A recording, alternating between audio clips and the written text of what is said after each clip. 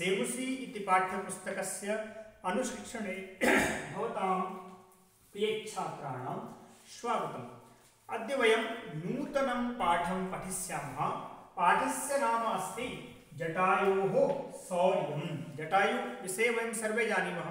हम सभी जानते हैं जटायु के विषय में रामायण के एक प्रमुख पात्र हैं, जो किसके बारे में? सीता के, सीता जी के बारे में बताते हैं राम जी को कि रावण ही है जो आपकी पत्नी को हर के ले गया है। लेकिन वो कितने शौर्यवान थे, यानी कि शौर्य यानी कि वीर थे, ठीक है? एक पशु होकर के भी, एक पक्षी होकर के भी उनके भी, उनके इसमें संवेदनाएँ थी कि गलत कार्य को रोका जाए। आज इस चीज़ की कमी है, ठीक है? लोग गलत कार्य को देखते हैं तो वीडियो बनाते हैं, ठीक? लेकिन तो ऐसी स्थिति से बचने के लिए हमें इस पाठ को पढ़ना चाहिए। किस प्रकार से सीता जी को ले जाते हुए जब रावण सीता जी को ले जा रहा था और किसने देखा? जटायु ने ये वो आवाज़ सुनी, उस करुण पुकार को सुना तो जाकर के वीडियो नहीं बनाया उन्होंने ठीक है? या केवल देखता नहीं रहे वो? जाकर के लड़े, उनको पता था कि रावण मुझसे बहुत अधिक शक्ति, शक्तिमान है। बलवान है, लेकिन फिर भी लड़े, अंत तक लड़े। जब तक उनका पंख न कट गया, तब तक लड़े। लेकिन लड़े, उनने अपने यथा सामर्थ्य, उनको छुड़ाने का प्रयास किया। तो ऐसे वीर जो थे जटायु, ठीक है, पक्षीराज जटायु, उनके वीरता के बारे में यह कथा ग्रंथ, यह पद्य खंड है। इसके बारे में हम जानेंगे। प्रस्तुत पाठ्यांश आदि कवि वाल्मीकि प्रणीत महा रामायण के अरण्य कांड से उद्धृत किया गया है, जिसमें जटायु और रावण के युद्ध का वर्णन है। पंचवटी कानन यानी कि जंगल में सीता का करुण विलाप सुनकर पक्षी श्रेष्ठ जटायु उनकी रक्षा के लिए दौड़े। वे रावण को परदाराभिवर्षण रूप निंद एवं दुष्कर्म से विरत होने के लिए कहते हैं। रावण की अपरि, अपरिवर्तित मनोवृत्ति को देख वे उस पर भयानक आक्रमण कर देते हैं। महाबली जटायु अपने तीखे, नखों तथा पंजु से रावण के शरीर में अनेक घाव कर देते हैं। तथा पंजु के प्रहार से उनके विशाल धनुष को खंडित कर देते हैं। धनुष टूट, टूटे धनुष मारे गए अश्वों और सारथी वाला रावण विरथ होकर के, यानी कि रथ से विहीन होकर के पृथ्वी पर गिर पड़ता है। कुछ ही क्षणों बाद क्रोधान रावण जटायु पर प्राण घातक प्रहार कर देता है। परंतु पक्षी श्रेष्ठ जटायु उससे अपना बचाव कर उस पर चंचुक प्रहार कर देता है, चौंच का प्रहार कर देता है। उसके बाएँ भाग की दसों भुजाएँ को क्षत विक्षत कर देते हैं। ऐसे महान जटायु के शौर्य की गाथा को जो कि क्या पूर्ण रूप से आदि कवि, महाकवि महर्षि वाल्मीकि प्रणीत रामायण के अग्निकांड से लिया गया है। यानी कहीं किसी के द्वारा नहीं कहा गया है जिससे जो मूल प्रति है रामायण की। अब तो हम रामचरित मानस पढ़ते हैं रामायण के नाम पर। रामायण तो कोई पढ़ता नहीं है। तो रामायण के मूल प्रति से यह लिया गया है, जिसमें सीता जी की करुण पुकार को सुनकर के कौन? जटायु यथासंभव रावण से पहले उसको समझाते हैं, फिर उससे पहले बात से, और बात से नहीं मानता तो फिर मार से उसको समझाने का प्रयास करते हैं, ठीक? तो पहला श्लोक है, सातदा करुणावाचो विलपन्तीषु दुःखिता वनस्पतिगतं गृद्धं ददर्शायतलोचना तो ऐसी करुण पुकार करती हुई माता सीता को जब हर ले जाता है राक्षसेंद्र जो रावण है ये बैकग्राउंड में क्या होता है? इसके पीछे लालच। अच्छा लालच क्या है? कि असंभवम हेव मृगस्य जन्म। यानी कि हम सभी जानते हैं, राम जी भी जानते थे, सीता जी भी जानते थे। क्या जानते थे कि असंभव है? किसका होना? हेम मृगस्य जन्म। यानी कि स्वर्ण मृग का जन्म होना असंभव है। लेकिन तथापि राम लुलुभे मृगाय। यानी कि उनको लोभ दिलाया गया सीता जी के द्वारा। किसके लिए? उस हिरण को पकड़ने के लिए कहती हैं, सीता जी की मुझे यही हिरण चाहिए। और राम जी उस हिरण को सीता जी के कहने पर पकड़ने के लिए जाते हैं, ठीक है? तब तक वही हिरण एक हे राम या हे लक्ष्मण की आवाज़ करता है, जिससे कि लक्ष्मण भी छोड़ करके सीता जी को आ जाए, ठीक? और सीता जी अकेले हो जाए, तब रावण अपना जो कुकृत्य करना चाहता था उनको हर, हरने का जो कृत्य करना चाहता था, वह कर पाए, ठीक? तो इसी क्षण लक्ष्मण जी लक्ष्मण रेखा खींच करके जाते हैं कि जो भी इसके अंदर आएगा, वो भस्म हो जाएगा। ठीक है, ये बात तो नहीं कही थी कि तुम उसमें बस से बाहर आओगे तो भस्म हो जाओगी। जो भी इस रेखा के अंदर आएगा, वो भस्म हो जाएगा, कोई तुम्हें छू नहीं पाएगा, ठीक? लेकिन होता क्या है तो वहाँ से हिरण मृग, यानी स्वर्ण मृग को पकड़ने के लिए जब राम जी चले जाते हैं और उसके पीछे पीछे राम जी की उस करुण पुकार को सुनकर के हे लक्ष्मण हे लक्ष्मण, इस प्रकार की आवाज़ सुन करके कौन? लक्ष्मण जी भी उनको जब सीता जी जिद करते हैं कि लक्ष्मण आप जाओ, मुझे छोड़ दो यहीं पे। ठीक है, मैं ठीक हूँ यहाँ पर, सुरक्षित हूँ। बस आप राम जी को बचाओ, शायद उनको कोई कष्ट है, वो कष्ट में आपको पुकार रहे हैं।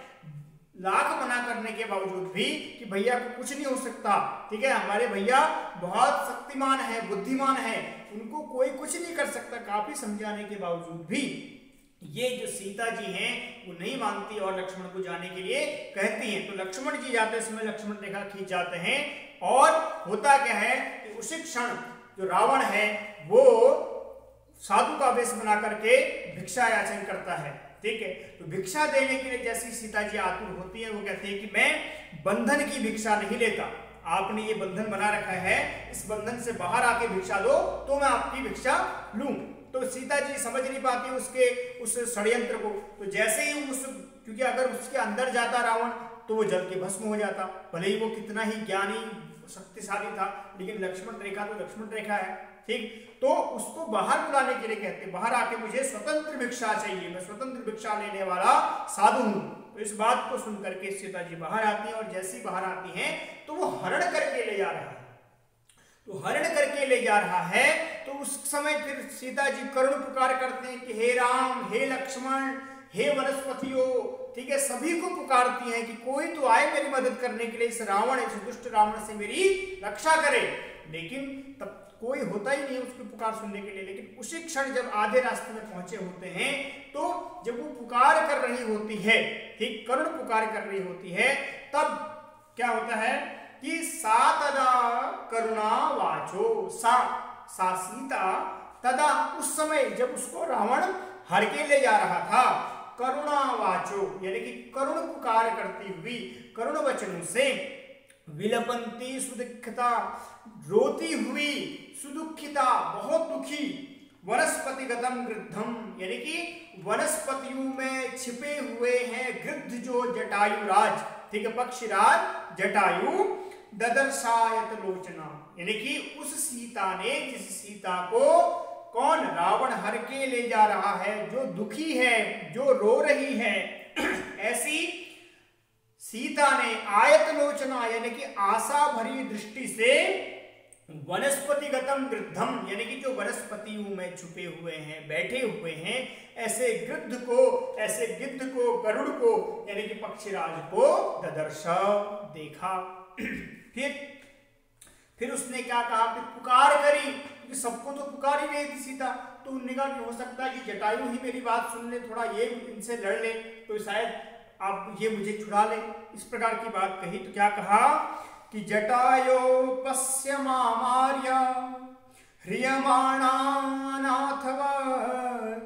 अनेन राक्षसेन्द्रेण करुणम पाप कर्मणा तब सीता कहते कि हे जटायु, हे आर्य जटायो माम पश्य।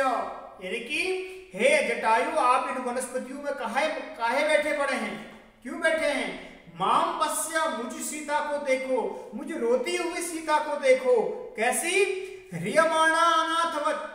ये मुझको अनाथों की तरह जो ले जाया जा रहा है, इस दुष्ट के द्वारा अनेन राक्षसेंद्रेण इस राक्षसेंद्र राक्षसों का जो स्वामी है, कौन?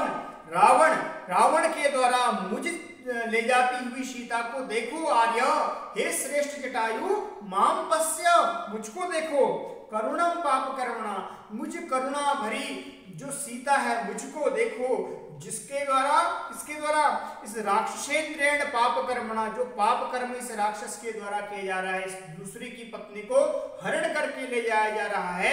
ऐसे पाप कर्मणा इस राक्षसेंद्रेण को रोको और मुझे देखो, मेरी ओर तो दृष्टि डालो, मुझे तो देखो, मेरी आवाज़ तो सुन रहे होंगे आप, इस प्रकार से कहा। फिर क्या हुआ कि तम शब्दम अवसुप्तस्तु, जटायुरथ शुश्रुवे, निरीक्ष रावणं क्षिप्रम वैदेहिं च ददर्शश। तो फिर क्या होता है कि तम शब्दम अवसुप्तस्तु, उस करुण पुकार को सुन करके कौन? ये जो जटायु अभी तक वनस्पतियों में बैठे हुए थे, पौधों के बीच में बैठे हुए जटायु थे अवसुप्तस्तु, यानी कि उस शब्द को सुन करके पहचाना हुआ सा मान करके जटायु अथ शुश्रुवे। शब्द क्या है? जटायु धन अथ। तो जटायु रथ से आप समझ रहे होंगे, रथ में कहा से आ गए जटायु?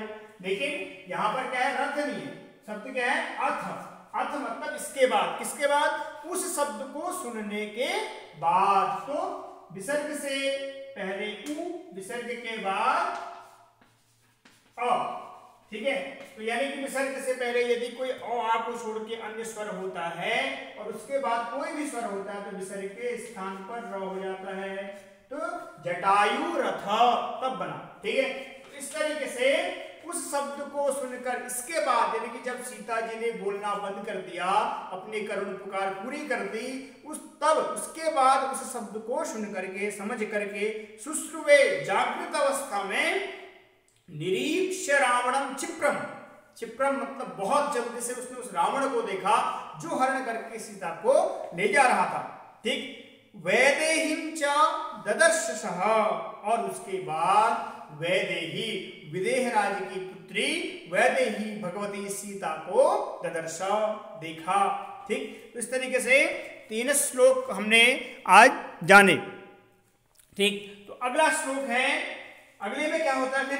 ततः पर्वत श्रृंगाभस तीक्ष्ण तुंड खगोत्तम वनस्पतिगत श्रीमान ब्याजहार शुभाम गिरम तब उसने पहले बात करना चाहिए बात करनी चाहिए उस रावण से। क्या?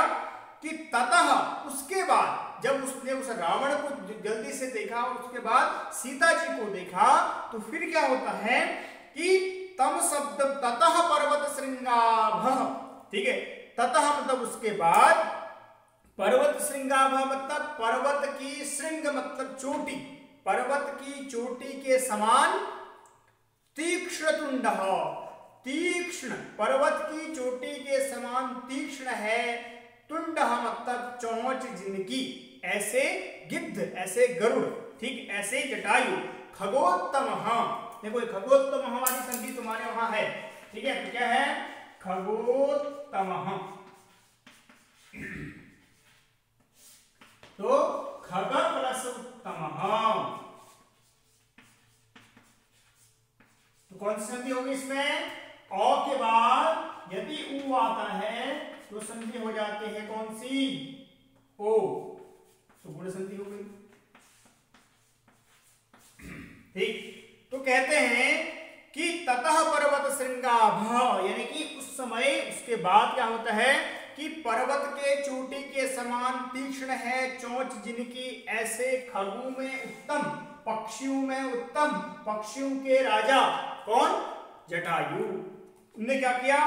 वनस्पतिगत श्रीमान व्याजहार शुभाम गिरम वनस्पतिगत वनस्पतियों से फिर अलग हट करके श्रीमान व्याजहार शुभाम गिरा। ऐसे श्रीमान कौन? जटायु शुभाम गिरम व्याजहार। सुंदर श्री वाणी में बोले। देखो, ज्ञान की बात करी उनने फिर। क्या कहा कि, यानी कि पर्वत की चोटी के समान तीक्ष्ण है। चोंच जिनकी ऐसे पक्षीराज जटायु ने वनस्पतियों से अलग हट करके व्याजहारा शुभाम गिरम सुंदर सी वाणी में व्याजहारा मतलब बोला। ठीक क्या बोला कि निवर्तयमती नीचाम। अरे नीच रावण, छोड़ो इसको किसको इस कृत्य को छोड़ो, इस गंदे कृत्य को छोड़ो जिस कुकृत्य में जिसको तुम परस्त्री का गमन कर रहे हो, परस्त्री को क्या कर रहे हो? हरण कर रहे हो, ठीक है?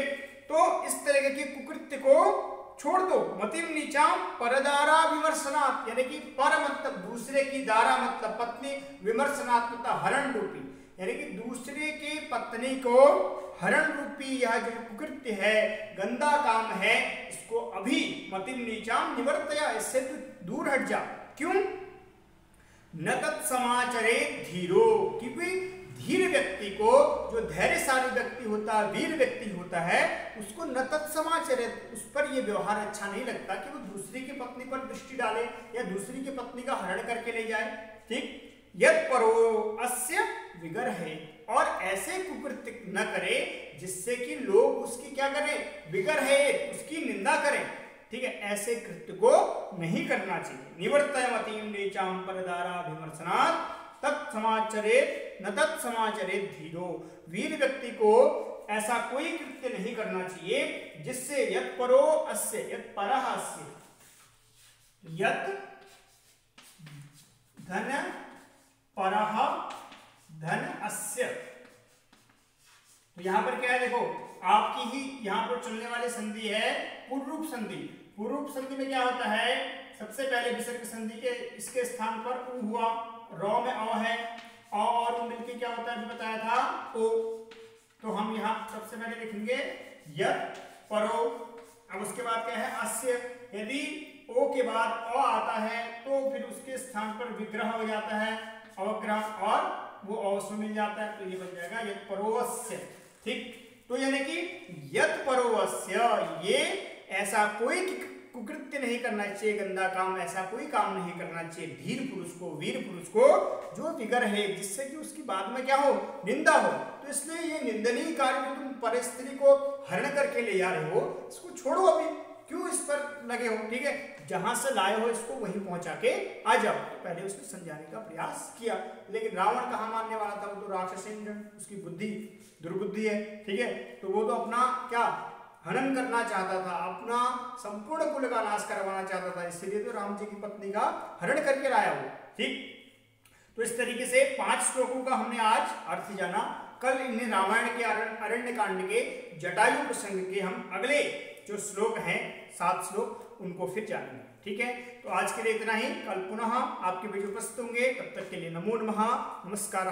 भवताम दिनम शुभम भवतु।